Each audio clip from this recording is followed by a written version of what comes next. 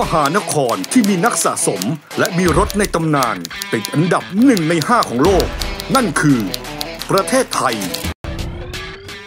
เอาละครับ สวัสดีครับคุณผู้ชมครับ ขอต้อนรับคุณผู้ชมเข้าสู่รายการเปิดโปงโรงรถโดยโบ๊ทวิบูลย์นันท์นะครับ ใน EP นี้ครับเปิดโปงกันต่อครับกับโรงรถของคุณวิภูชุณศาสตร์นะครับเจ้าพ่อแห่งวงการช้อปปิ้งออนไลน์ครับกับเรื่องราวของโรงรถอีกฝั่งหนึ่งจะมีเหล่าเทพตัวไหนบ้าง รถคันไหนที่เป็นรถคันที่พิเศษที่สุดใครที่เป็นแฟนรถซุปเปอร์คาร์ญี่ปุ่นนะครับ พลาดไม่ได้เลยครับกับเรื่องราวของคุณวิภูชุณศาสตร์ครับ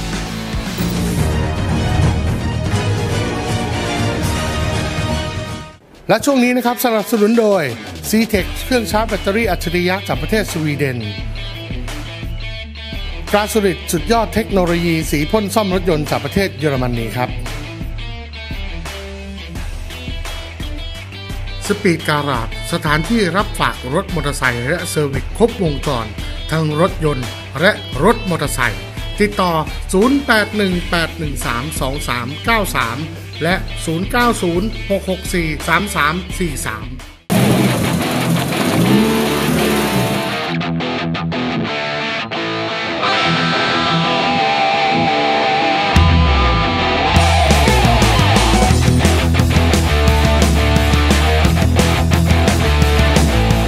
ผมเห็นโรงรถคุณฝั่งนู้นแล้วผมก็แบบ เฮ้ยนี่คุณไปไปทุกทางเหมือนกันนะรถญี่ปุ่นญี่ปุ่นคุณก็ไปเหมือนกันนะ คือส่วนใหญ่รถที่ผมจะซื้ออะครับมันเป็นรถที่ชอบครับพี่บอสผมมีคอนเซปต์ว่ารถที่ผมจะซื้อทุกคันต้องวิ่งได้ใช้ได้ อันนี้คุณวิ่งเหรออันนี้ผมก็ขับวิ่งบ่อยครับพี่บอส Karmann Ghia เนี่ยนะครับอันนี้ขับดีมากเลยครับพี่บอสขับนิ่มเลยครับเอ้ยผมก็ อันเนี้ยมันเป็นรถครูผมเมื่อก่อนนะครับ Karmann Ghia เนี่ย อันนี้น่าจะเป็นไทยหนึ่งไทยสองอะไทยหนึ่งครับไทยหไทยหนึ่นึ่งงใช่ไหมไทยวันนะ ไทยวันครับ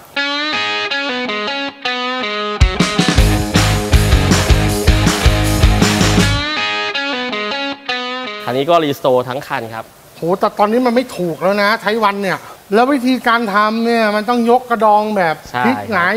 รถทั้งคันเลยนะ ครับรุ่นนี้ก็ต้องดูดีๆนะครับพี่โบอสก็บ้านเราก็สวมโอ้แพ้โห เต่ากันเยอะ บ้านเราเนี่ยต้องบอกว่าครับเป็นรถที่ต้องมีความรู้นิดนึงนะครับครับ สำหรับคามันเกียร์ถ้าคุณไม่ได้เป็นคนเล่นโฟกมาก่อน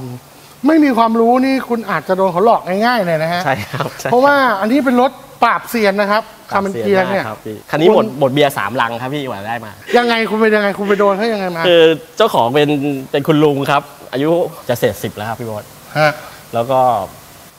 เขาบอกว่าอยากขาย ผมก็ไปไปจีบจีบๆแกอ่าแกก็ไม่ขาย ไปครั้งแรกก็ไม่ขายไม่ขายครับ ก็อ่าซื้อเบียร์ไปนั่งกินแกครับอ๋อเหรอครับ กินกันอยู่คืนหนึ่งบดไปสามลังครับ แกขายมาครับ ต้องเอาเครื่องดื่มแอลกอฮอล์ไปครับ ตะล่อมเลยนะใช่ครับต้องกไปว่าจะแบได้บมาชนนี่อาจจะใจอ่อนนะ ใช่ครับแกใจไม่อ่อนเลยครับพี่แต่ได้มาก็ภูมิใจมากครับพี่กี่ปีคันนี้โอ้คันนี้ได้มาพอสมควรแล้วครับพี่ประมาณ4ี่หปีแล้วซ่อมประมาณ 2 ปีเหมือนกันพี่ปีเกิน2ปีได้ครับนะ ครับโฟล์กทุคัเนี่ยนะ ประมาณเนี้ยครับ โฟกเนี่ยครับ คามันเกียร์เนี่ยมันต้องมีนะประมาณรถเนี้ยพี่พี่ ที่ได้คันแรกมาแต่ของพี่มันเป็นไทยสามนกคูกนะเอาต้องคู่ครับ ของพี่เป็นนกคูกนะไทยสามนะสี่ปีอะ สี่ปี ทำไปเรื่อยนะสี่ปีทำออกมาใช้ปีหนึ่งขายขาย เออมันเป็นอย่างนี้ คนเรามันเป็นอย่างนี้รถเก่าเนี่ย ครับ แล้วก็เข็นมันตามสี่แยกกันอะ เดี๋ยวมันก็ไปดับตามสี่แยกบ้างละเดี๋ยวก็เข็นนะแอร์เสียบ้างละอะไรก็อุ้ยร้อยแปดพันเรื่อง ครับ แต่มันก็สนุกดีสนุกดีคันนี้ครับต้องบอกว่านี่คือสีช็อกโกแลตด้วยนะ สีช็อกโกแลตครับ ต้องบอกว่าเนี่ยมันคือเสน่ห์ของมันอยู่ตรงนี้นะ ครับ แล้วพวกเนี้ยผมชอบตรงงานโครเมียม ครับ คำมันเกียร์เสน่ห์ของมันอยู่ตรงโครเมียม ครับ แต่คันนี้ดิ นี่มันคือรถที่ต้องบอกว่ามันนี่มันคือไฮแวลูอีกคัน ครับพี่ครับ ก็ค่อนข้างหายากแล้วครับพี่ตอนนี้ มันมาดังอีกทีหนึ่งตอนเนี้ยที่เขาบอกว่าหนึ่งในดาราหนังเรื่องฟาสเอากลับมาทำครับ ที่เป็นคนญี่ปุ่น นี่คือ Queen of l e t o อันนี้ก็คือ Datsun Fairlady ครับ ถ้า King มันคือ Skyline Skyline นี่คือ Queen of l e t o นี่คือมันจะมีบอดี้ออกออกมาด้วยกัน 2 รุ่นด้วยกัน คือ 240 กับ 280 ครับ เพราะ 240 จะเป็นตัวสั้น ครับตัวสั้นเพราะ 280 จะเป็นตัวยาว ครับ แล้วคันนี้เป็น อันนี้เป็น ZX ครับ เป็น2บวก2บวก2เป็น 2 plus 2ครับ280 ZX 2 280 ZX ครับ นะฮะถ้าฝรั่งจะเรียก CX ถ้าคนไทยจะเรียก ZX ครับ 280 Z ครับคันนี้ความไม่ธรรมดาของมันก็คือเครื่องยนต์ครับ ผมว่าคุณน่าจะหมกอะไรไปสักอย่างอะนะ ถ้าตามสูตร ถ้าตามสูตรเด็กสมัยใหม่ก็ต้องเป็น RB 26ผมว่าคุณต้องหมกอะไรไปสักอย่างใช่ไหมเดี๋ยวเปิดให้ดูครับพี่บอสนี่เห็นไหมรถพวกนี้ผมว่าคุณต้องซ่อนอะไรไว้สักอย่างอะผมว่ามันต้องหมกอะไรไว้สักอย่างอะนั่นไงผมว่าแล้ว คันนี้เป็นโตเม่มาจากญี่ปุ่นครับพี่บอสโอ้โหประกอบมาจากญี่ปุ่นเลยครับ ก้านลูกนะครับ ฝาทุกอย่างเป็นโตเม่หมดเลยครับ สั่งเครื่องทั้งตัวมาจากญี่ปุ่นครับ บันไลแล้วไงครับ แล้ววิ่งแล้วมันโอ้โหมันไม่บินเลยเหรอเนี่ยคันนี้จูนไว้ประมาณถ้าหกร้อยเศษๆมาครับพี่บอสก็วิ่งพอสนุกสนุกครับ เฮ้ยมันไม่หนุกหรอมั้งหกม้าหกว่าตัวแต่ตัวเนี้ยเครื่องเขาเคลมว่าได้ถึงพันกว่าม้าแต่ผมไม่กล้าขับครับพี่บอพัสนกว่าม้าครับ ฟังเสียงเครื่องโตเม่หน่อยคันนี้เนี่ยใครเห็นนะครับ ก็ต้องหลบซ้ายเข้าไปนะครับ อย่าไปคิดว่าเอ้ยรถคันนี้ เหมือนรถแบบเอ้ยใครเอามาส่งเต้าหู้ส่งผักคะน้าหรือเปล่านะครับ บนทางด่วนรถเก่าๆไล่ดันเขานะครับ คุณนะฮะให้คุณไปก่อนในสี่เสาไฟฟ้านะครับ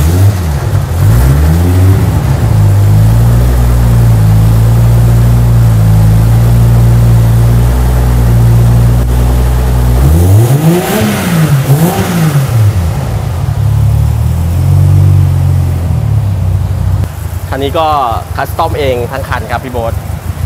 เอ่อช่วงล่างก็ล้ม S14 มาคันหนึ่งนั่นเนี่ยครับ เพราะว่าดูจากทรงแล้ว เพราะผมเห็นล้อคุณล้อมันน่าจะเป็นบาตานาเบ้ป่ะวัตานาเบ้ครับพี่ ใช่ไหมใช่ครับ นี่คือล้อในตำนานนะคุณผู้ชมครับล้อ 15มาตานาเบ้ก้านกล้วยนะครับโป่งเย็บตรงเย็บครับ แล้วก็ช่วงล่างเป็น S14 ทั้งคัน โช้คเป็นไฟฟ้า 4 ต้นครับ โรลบาร์ในรถแบบโรลบาร์ด้านหลังครับ เออมันต้องมีรถนะต้องมีแบบโรลบาร์ในรถโหดๆหน่อยใช่ไหมแล้วอย่างเงี้ยเวลาแบบวันอาทิตย์ขับเสาร์อาทิตย์ไปสนามซูซูกะที่ญี่ปุ่นอะไรอย่างเงี้ยครับ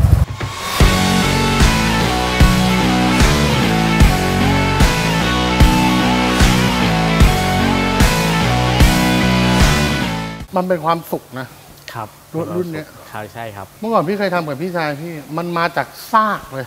มาจากซากแบบ โอ้โห ไม่มีชิ้นดีอะมันเหลือแค่โครงครับพี่จริง ๆ แล้วมันเป็นตัวสั้นเลยนะ แล้วก็เริ่มมาจากทุกอย่างเลย แล้วก็วางเนี่ยโหซื้อเครื่องมาเป็น RB 26สเปคนัวด้วยนะ โอ้โหทำมาทำจนมันจำไม่ได้แล้วมันเสียเงินกับมันไปเท่าไหร่อะตอนเราทำเสร็จแล้วเรามีความรู้สึกว่าเฮ้ยนี่มันคือนี่มันคือรถของเราจริงๆนะใช่ครับถูกปะมันเป็นบ่งบอกอารมณ์ในตัวตนได้ครับพี่นะคือคันเนี้ยตอนนั้นช่วงนั้น Rocket Bunny มันมันแรงมากครับ ผมก็เลยใช่ อยากจะทำสักคันหนึ่งให้มันเป็น Rocket Bunny ในแบบของผม อันเนี้ยมัน อันเนี้ยมันมันใช่อะใช่ครับและมันมันคือ Rocket Bunny จริงๆ ถ้าอารมณ์นี่นะมันคือมันคือรถอย่างที่บอกว่ามันคือรถรถวันอาทิตย์ถ้ามันอยู่ญี่ปุ่นนะมันคือรถคุณลุงวันอาทิตย์ขับไปสนามซูซูกะ ถือหมวกกันน็อกใบหนึ่งแล้วก็แบบเอ้ยซัดสนามแข่งวันอาทิตย์ป๊าป๊าดแล้วก็ขับกลับบ้านครับอะไรอย่างเงี้ยหรือไม่ก็เอาขึ้นรถสไลด์ไป ใช่ครับ ใช่ป่ะหรือแบบ บ้านอยู่หลังภูเขากุนมะอะไรเงี้ยนะ ตอนเย็นแล้วก็ยืนดูดบุหรี่อยู่ แล้วให้รถใหม่ ๆ วิ่งเฝ้าขึ้นไปบนเนี้ยบนเขาบุหรี่ดับแล้วเดี๋ยวค่อยไล่ตามมันเนี่ยเราต้องในอารมณ์นี้ครับ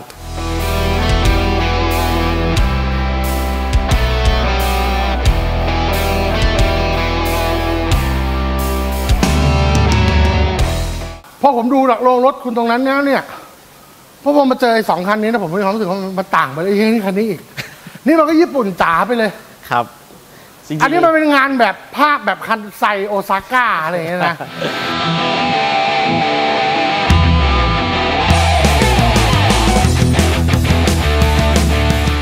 คันเนี้ยถูกปะแต่งเอามันๆครับพี่โบอสแต่งเอามันๆครับก็ก็มันลายเพลิงไงนี่แบบงานแบบโอซาก้าก็เป็นในเบคห้าครับ N N เออเป็นเมียต้าครับ ก็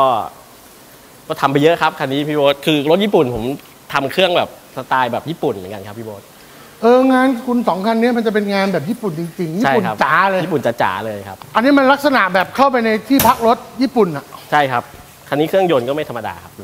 เหรอครับ อันนี้คือโฉม NA โฉมแรกถูกป่ะใช่ครับ N N หนึ่งครับเฮ้ยวางอะไรอะวางวางขวางขับหลังเหรอครับผมแล้วก็ใส่ปากแต่ อ๋อ เป็นแบบปากแต่ฟีสูบ Mazda เป็นปากแต่ยิงตรงอย่างเงี้ยเหรอ ใช่ครับ เสียงก็จะหวานหวานๆหน่อยครับพี่วูดวูดหน่อย อันนี้ก็จะเป็นแบบ NA ปากแต่แล้วก็เร่งก็จะฟุดฟุตใช่ฟุตใช่ครับเดี๋ยวลองนะฟอยผมอยากฟังผมอยากฟัง เฮ้ยผมชอบผมชอบ เฮ้ยคุณนี่เป็นคนที่แบบ คุณได้หลายอารมณ์มากนะ หลายรอบ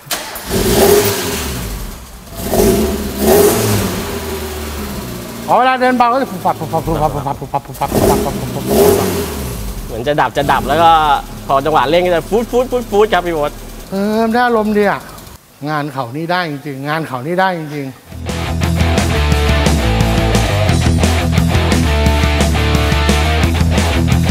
คันนี้คืออะไรฮะ อันนี้เอาไว้ไปจ่ายตลาด คันนี้เป็นรถคันแรกในชีวิตที่พ่อซื้อให้ครับอ้าวจริงเหรอ ครับ ผมก็พยายามไปตามหากลับมาครับ แล้วก็ให้สภาพมันเหมือนกับป้ายแดงที่สุดครับ พี่โบ๊ทลองดูได้ครับว่ามันป้ายแดงไหมครับ เออว่ะก็พยายามเก็บทุกสิ่งอย่างที่เก็บได้ครับพี่โบ๊ทเออนี่มันเหมือนกับมันย้อนเข้าไปในแบบเหมือนเดินเข้ามาในโชว์รูมเลยนะใช่ครับเบอกก็เป็นหนังพียูธรรมดาใช่ใช่ใช่ใช่ใช่อย่างนี้เลยครับพี่โบ๊ทนี่มันเหมือนย้อนเข้าไปในโชว์รูมฮอนด้าเมื่อตอนที่สามดอมันออกมันแรกเลยนะใช่ครับ คือต้องบอกว่าอย่างนี้ครับพี่โบ๊ทสามดอบ้านเราอะ มันหาสปัจภาจุพบันเดินี้มมันกลายเป็นรถซิ่งหมดแล้วมันไม่มีแล้วครับพี่มันน้อยมาก ไม่มีใครขับเครื่องพันห้าคาบูอื่น ไม่มีแล้วไม่มีๆครับ แต่ผมขับอยู่ เฮ้ย มันสามดอมันต้องเป็นแขนเดียว ใช่ ลายตุ๊กแก ใช่ครับอะใช่ครับ ซันรูปสีแป๊ดแป๊ดใช่ครับ แต่คันนี้เป็นพันห้าคาบูคาบูเลๆเตแต่อร์ นี่ยังดีนะ ครับ พ่อยังปราณีออกสีน้ำเงินให้นะ พ่อไม่ออกสีเขียวมะนาวให้กับออกสีส้มการไฟฟ้าให้ก็บุญเท่าไหร่นะ คันนี้จะใช้กันสามพี่น้องครับ มีพี่น้องเออ สามคนพ่อซื้อให้คันหนึ่งก็ใช้ก็ผัดกันใช้ไปวันหนึ่งแล้วก็นึกถึงครับ แล้วก็เลยหากลับมา ก็พยายามทำให้มันเหมือนป้ายแดงที่สุด ที่เราที่เราจำภาพได้ครับ ตอนที่พ่อซื้อให้ครั้งแรก ผมว่าอันนี้มันเป็น มันเป็นรถที่ถ้าจะเป็นผมผมก็ต้องทำเก็บไว้นะครับ มันเป็นรถคันแรกของเราที่ที่ที่นึกถึงนะใช่ครับพี่แล้วได้ขับทุกครั้งมันก็จะมีความรู้สึกดีๆอยู่ใช่ครับ แล้วเห็นบอกว่ายามาฮ่าคอนคอร์ดนั่นก็ไอชัดนั่นก็ อันนี้เป็นมรดกพ่อเลยครับไอเคครับพี่ไอเคใช่ไหมครับ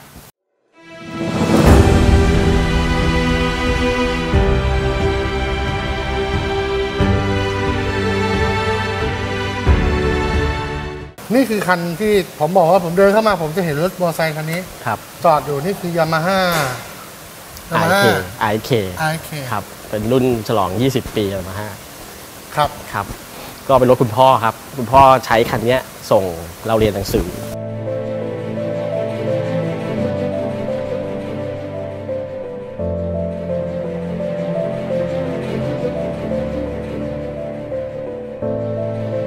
ผูกพันมากครับคันนี้ ครับหลายท่านก็มาขอซื้อเอาล่ะครับ เท่าไหร่ก็ไม่ขายครับพี่โบอสมาให้แสนห้าก็ไม่ขาย ปัจจุบันนี้คือพ่อเสียไปแล้วเสียไปนานแล้วครับ แต่เราก็พยายามเก็บไว้อย่างเงี้ยครับ คือให้มันอยู่อย่างเงี้ยครับ นี่คือคุณรักษาสภาพใช่ครับ บางครั้งก็คิดเหมือนกันครับพี่โบอยว่าไปรีสโตร์ใหม่ดีไหม ผมก็นั่งคิดดูว่าเอ้ยอยากให้มันอยู่อย่างเงี้ย มันมีสีเพี้ยนบ้างอะไรบ้าง มีรอยถลอกบ้าง มันก็เป็นผมอาว่ารมณ์นี่ของนี่ก็อยู่ในสภาพที่ผมว่านี่คุณก็ทำเงามาสมัยเอี่ยมเลยนะ ครับ นะแล้วผมว่านี่คุณก็อยู่ในสภาพที่มันดีมากๆแล้วนะแล้วผมว่าอันนี้ก็เป็นสิ่งที่คุณพ่อคุณใช้ใช่คมารับตลอดแบบนี้ ผมว่าก็ก็นี่ผมว่านี่ก็สวยสำหรับผมนี่ผมว่าอยู่ในสภาพที่มันสวยมากๆแล้วนะครับครับ แล้วก็นี่คือรถที่คุณนั่งมาตั้งแต่เด็ก ใช่ครับ โอ้ ใช่ครับ นี่ก็บางทีผมออกไปซื้ออะไรกินผมก็ขี่คันนี้ โอ้ยผมว่าครับ มันก็ได้อารมณ์ตอนสมัยก่อนท่านั่งมันก็จะแบบแปลกๆนิดนึงตามอารมณ์จิโกจิโกสมัยนั้นครับพี่โบอสเออครับ แล้วก็ใครเห็นใครก็ทักครับพี่โบอสบอกว่าเฮ้ยโอ้โหสวยจังเลยขอซื้อได้ไหมครับ ครับแต่นี่คือรถที่คุณตั้งใจไว้แล้วว่า ชีวิตนี้ยังไงยังไงไม่ขายครับ ไม่มีกินก็ไม่ขายครับ ครับครับคุณเห็นรถคันนี้แล้วคุณรู้สึกยังไงก็นึกถึงพ่อครับ ครับ ก็ก็เป็นคันที่ทุกคนนะครับพี่น้องนั่งกันมา มันก็ทำให้เรามีทุกวันนี้ใช่ครับใช่ ก็แล้วก็บอกอีกคันหนึ่งที่นุ่บอกว่าผูกพันกับนั่นก็คือรถออสตินมีออสตินคันหนึ่งครับ ที่บ้านผมไปลงน้ำแข็ง ครับ คุณพ่อจะรื้อเบาะทิ้งหมดเลย ออสตินเล็กๆครับพี่บอส จินตนาการสี่ประตูอาเลโก้นะ ครับ แล้วก็รื้อเบาะทิ้งหมดเลยเหลือแค่เบาะคนขับ ครับ แล้วที่เหลือเนี่ยก็ส่งน้ำแข็ง เห็นบอกคุณพ่อประทับใจมาก ประทับใจมาก แล้วบอกว่า ใช้ยังไงมันก็ไม่ผุครัเขาบบอกพี่โบอสว่าคุณพ่อชอบรถออสตินนะใช้ขับมา 20 30 ปี ครับส่งน้ำแข็งมาโดยตลอด แล้วคุณพ่อครับก็ยืนยันด้วยตัวเองว่ารถออสตินเป็นรถที่ดีที่สุด เพราะว่าครับ ส่งน้ำแข็งมา 20 30 ปี ขับมาโดยตลอด ใช้ยังไงก็ไม่ผุมันไม่ผูกครับเพขราะนาว่าดน้ำแข็งมันเป็นส่งเกลืน้ำอ แข็งมาทุกวันใช่ ขับยังไงก็ไม่ผุใช่ครับ แล้วนี่คือรถที่ต้องบอกว่า ต่อให้มันมีมูลค่าสักแค่ไหนครับ อันเนี้ยคุณพี่บูบอกว่าเขา ใช้เบลลี่เขามีเบลลี่เขามีรถอัลพีนาเขามีรถบีมีรถอะไรก็ตามมีคามันเกียร์มีแฟรีดี้มีรถ SL มีทุกอย่างในชีวิต แต่เขาบอกว่าเนี่ยสุดท้ายนี่คือรถที่เขาบอกว่า เป็นคันเดียวที่เขาไม่ยอมขายในชีวิต นี่คือรถที่กว่าเขาจะมีทุกวันนี้มาได้ นี่คือมอเตอร์ไซค์ที่ที่นั่งมาตั้งแต่เด็กจนโต นี่คือมอเตอร์ไซค์ที่ทำให้คุณวิภูมีมีจนถึงทุกวันนี้ ก็จอดอยู่อย่างเงี้ยครับพี่โบ๊ทได้เห็นทุกวันก็มีความสุข ถูกไหมมันคือจุดศูนย์รวมของคนในบ้านนะใช่ครับใช่ถูกไหมพี่น้องทุกคนได้ได้เดินมาเห็นรถคันนี้ก็ก็จะมีความรู้สึกว่ามันมันเหมือนก็มีความรู้สึกเหมือนมีพ่ออยู่ใกล้ๆตลอดเวลา ใช่ครับ ถูกไหมฮะมองว่าจริง ๆ แล้วรถเนี่ย มันอาจจะเป็นตัวแทนเป็นสัญลักษณ์ของของความรักในครอบครัว แล้วผมเชื่อว่ามัน ราคาค่างวดรถบางคันเนี่ยอย่างที่ผมบอกนะมันอาจจะไม่ได้แพงอะไร แต่ความรู้สึกความผูกพันมากกว่า ที่มีกันอยู่ในรถเนี่ยทำให้ให้เกิดเป็นเป็นเป็นมูลค่าที่มันไม่สามารถที่มันจะประเมินได้ แล้วก็เนี่ยนี่คือโรงรถที่ผมบอกว่าวันนี้ผมได้มาเยี่ยมชมรถที่ที่ทั้งสวยงาม แล้วก็รถที่หาดูได้ยากๆ แล้วผมบอกว่าเนี่ยวันนี้ผมชอบที่สุดนั่นคือเจ้ามอเตอร์ไซค์ ISK คันเนี้ยครับ ผมบอกว่านี่คือรถที่ที่มูลมีมูลค่ามากที่สุดในในโรงรถที่ผมชอบมากที่สุด วันนี้ผมมีของเล็กๆน้อยๆนะฮะ ที่จะมามอบให้กับคุณพี่ภูนะฮะ เป็นบัตร voucher นะครับ จาก Speed Garage นะฮะ เอาไว้ขอบคุณครับให้พี่บอสนะครับครับ ไปทำ detailing นะครับ แล้วก็มีแว่นของเด็กฟันโอ้ก a าเซสนะครับ มอบให้กับคุณพี่ภูนะครับครับ ขอบคุณครับพี่โบ๊ทนะครับครับคุณผู้ชมครับขอบพระคุณมากครับครับเอาไว้ใส่ขับรถนะฮะคุณผู้ชมก็มีสิทธิ์ได้เหมือนกันนะฮะเพราะฉะนั้นผมขึ้นกติกาไว้ให้แล้วนะฮะคุณผู้ชมดูกติกาของเรานี่หน้าจอไว้ได้เลยนะฮะแล้วก็ใครที่เป็นผู้โชคดีก็ขอแสดงความยินดีด้วยนะครับ สุดท้ายคุณพี่ภูครับ อยากจะฝากอะไรถึงคุณผู้ชมไหมฮะจริงๆ คนเรามีความชอบครับ ก็ตามฝันเจอครับแค่นั้นเองครับ ถ้าอะไรที่มีความชอบขอให้ตั้งใจ ตั้งใจครับแล้วเชื่อว่าทุกคนก็จะได้ในสิ่งที่ตัวเองฝันใช่ครับใช่เอาละครับ วันนี้ขอบคุณผู้สนับสนุนรายการของผมนะฮะ ขอบคุณ c t e c h นะครับ เครื่องชาร์จแบตเตอรี่อัจฉริยะจากประเทศสวีเดนนะครับ ขอบคุณ Glasurit ครับ สุดยอดเทคโนโลยีสีพ่นซ่อมรถยนต์จากประเทศเยอรมนีครับ ขอบคุณ Miss Lily นะครับ ส่งตรงจากกรุงเทพทุกช่อนะครับ ทั้งแสดงความยินดีแล้วก็ไว้อาลัยนะครับ สนใจติดต่อครับ 029708000 นะครับ ขอบคุณแว่นเด็กฟัน Glasses นะครับ ไม่ใช่แค่แฟชั่นเท่ๆนะครับ ใช้ขับรถได้ดีมากสบายตาครับ และขอบคุณSpeed Garage ด้วยนะครับ บริการโรงแรม รับฝากจอดรถนะครับ ทั้งมอเตอร์ไซค์แล้วก็รถยนต์ด้วยนะครับ ที่ทาวน์อินทาวน์ซอย 11 ครับเอาละคุณผู้ชมครับ อย่าลืมกดไลค์กดแชร์นะครับ แล้วก็กด Subscribe นะครับ ในช่อง YouTube Speed Channel Official นะครับ แล้วก็อย่าลืมกดกระดิ่งติดตามด้วยนะจ๊ะเอาละครับ วันนี้เราสองคนลาไปก่อนนะครับ วันนี้ครัอบบคุณพี่ภูนะครับ วันนี้ขอบคุณสวัคุณสดีพี่ภูมากนะคครัรับบสวัสดีครับ แล้วก็อย่าลืมครับติดตามทุก EP ใหม่ๆ ทุกสัปดาห์ได้นะครับ กับรายการนี้ครับ เปิดโปรงลงรถโดยโบทดิวินันครับ เราสองคนลาไปก่อนครับ สวัสดีครับ